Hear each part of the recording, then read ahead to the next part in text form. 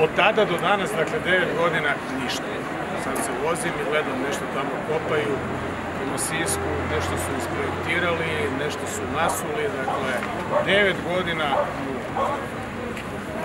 vlakovi kojima se dolazi u Sisak su hrvatski vlakovi iz Končara, sagrađeni su i isporučeni u vrijeme moje vlade, 44 vlaka, od kojih su 22 isporučena do 2016. godine, kao što je i pruga pre- pre- preprojektirana i dovedena u red. Eto, to je to. Došao sam vidjeti u stvari šta je ova vlada u 7,5 godine napravila za Sisak i znao sam to i ranije, ništa. Kad bude premijer, grad će dobiti tretman koji zaslužuje. I to ne zato što je ovdje gradonačelnica iz SDP-a, to veze nema, ali zato što je iz SDP-a ima takav tretman. Ne ste s obzirom na to da je počela službena kampanja koju vi niste dio, jeste li čuli upute kojih se vi treba dati? Nisam, meni ne mogu znati. I ne, nisam čuo i Dobro. Hoće Kako će izgledati sljedeća vaša kampanja? ovako, Kako bi vi to nadali? Obilaženje Hrvatske, tako. uobičajeno predsjedničko obilaženje Hrvatske. Se vi to ne morate prenositi. Šta radite? Znači vam ustavni sud uzeti licencu. Će vas pritvoriti. Da ne govorimo o portalima.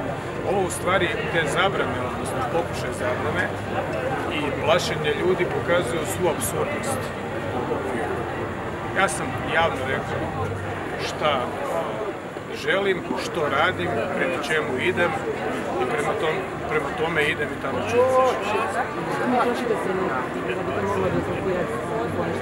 Mislite zlouporabom, a, a, uzurpacijom ovlasti od strane nekog od državnih tijela? Ne, ali htio bi vidjeti.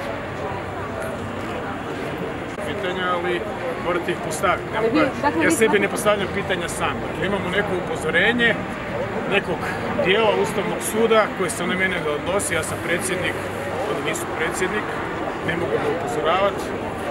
Kako mogu vas upozoravati? Posebno portale i sve ono što čini Hrvatsku slobodu govora u demokratskom društvu koju ta ekipa zajedno sa AP-om pokušava ugušiti i njemu u stvari osigurati blokove, frontu i stražnicu da, da ga se zaštiti. Dobro, ali iako vi niste kandidat... Jer nitko drugi, dakle, nitko je sada dru- službeno počela Nitko drugi, nitko ne, moguće. Nitko drugi u stvari nije rigao vatru na ono što sam ja rekao i na moju nagradu. Tako. Dakle, jedino HDZ i HDZ. Mislim, Ustavni sud, da HDZ. Dakle, jedino oni imaju priliku. Nitko drugi. Ja sam siguran da to nije svakoga oduševilo. To će biti i gubitaka za neke političke opcije. Nešto ću a, unijeti ja, moja pojava, to je potpuno jasno, ali svi drugi, svi drugi koji žele slobodu i red u ovoj državi, svi koji nisu HDZ, manje više rade svoj posao i ignoriraju to što govori Ustavni sud. Znači, I ja im na tome čestitam, dakle nisu, nisu se dali isterorizirati. To je hrabrost. Znači, mi ćemo izvoditi da predsjednika svaki dan dobiti poziv da ste vi neki. Kao predsjednik. Ili možda nećete svaki dan, ali kad god budem dobit ćete poziv. Ali da ga ne dobijete bi bilo loško. Ne. Šta ne bi? A, baš. A zašto ste sad došli? Dobro smo poziv. Dobili ste poziv. Da, da predsjednik. Nije to poziv u vojni odsjek u Jugoslaviji. Da moraš doći da te hapse. Ne, ne moraš doći, dobiš poziv, ti ne dođeš, ne. Ne preneseš.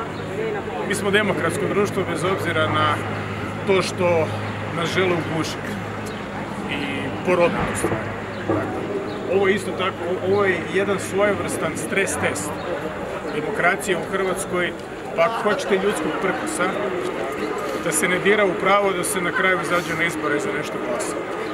Ljudi će glasati i za mene, valjda nisam ministar. I glasat će u stvari izravno, neizravno, u krajnjoj liniji između toga da li žele da zemlju nastave voditi ljudi koji su potpuno obeščastili i doveli na rub ludila, na rub ludila, ili da to budem ja, ali neko neko već nikada, jer niti takvu vlast i zlouporabu i, uzurpatorsku vlast želim niti ću ikad imati. Kad sam je mogao imati kao premijer, kad sam imao veći izborni rezultat nego Plenković ikad u svom patetičnom životu političara, ja nisam zloupotrebljavao vlast i Mislim da je to jedno ozbiljno jamstvo ljudima ako se pitaju kako, kako ću se ja ponašati.